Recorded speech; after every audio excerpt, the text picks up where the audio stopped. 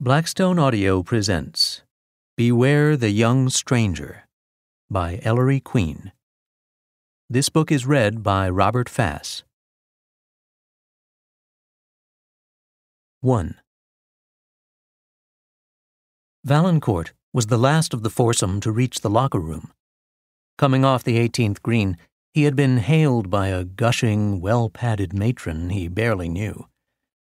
She had three out of town guests at a cocktail table on the clubhouse terrace, and she insisted on introducing John Vallancourt to them as our own distinguished diplomat, the man who knows all the secrets of those nasty foreign countries. Lanky and trim, a silver and tan man of fifty odd years, Vallancourt exchanged small talk, managed a tactful escape, and immediately forgot the incident. He had more important things to think about. Nancy, for instance, his daughter. In the deserted locker room, he stripped, showered, toweled briskly, and put on the dark gray Italian silk suit he had worn to the club this morning. He made an admission to himself. He was disturbed. Playing around 6,500 yards of golf course with Keith Rollins today hadn't quieted his sense of caution.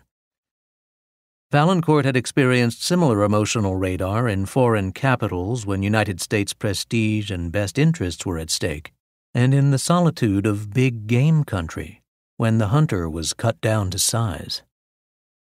His wariness over Rollins was not because the time had inevitably arrived when there must be a change in his relationship with Nancy. He was preparing for the change. The emergence of his daughter into womanhood was welcome and good.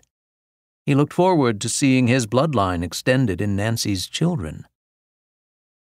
Vallancourt thought he was alone, but then he turned and saw Keith Rollins at the far end of the row of lockers. The diplomat's usually warm brown eyes chilled slightly.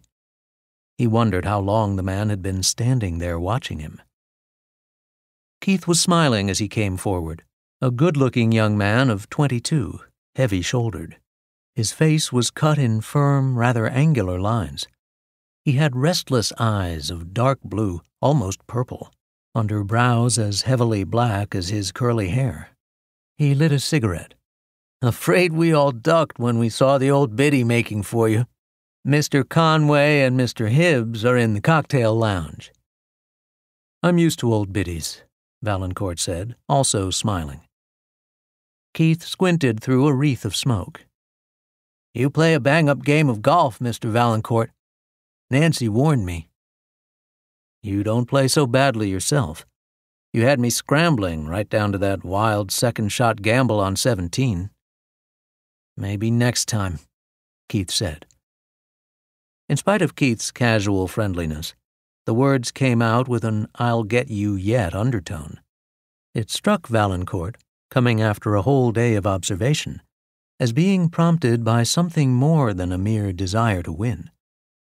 The older man wondered suddenly how often before Keith's need had carried him almost to victory, then turned on him in the final moment, as it had today on the course.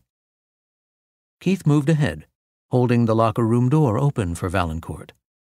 Anyway, Keith said, today meant a little more to us than a golf game, didn't it? In what way? You wanted to look me over, didn't you? There was a flicker of resentment in the nightshade eyes. I suppose I did, replied Vallancourt. They started down the rubber tiled corridor in the direction of the dining room and cocktail lounge. At least, Keith laughed, I'm glad you didn't suggest a weekend hunting trip in the mountains. I show up better with golf clubs than a rifle. They walked on a few steps and he went on without a pause. From what I hear, you're pretty good at assessing people.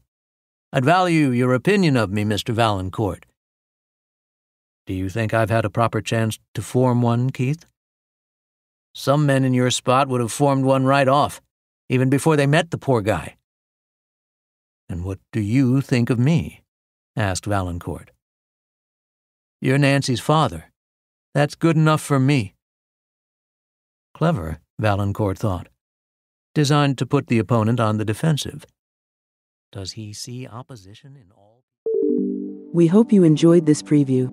To continue listening to this audiobook on Google Play Books, use the link in the video description.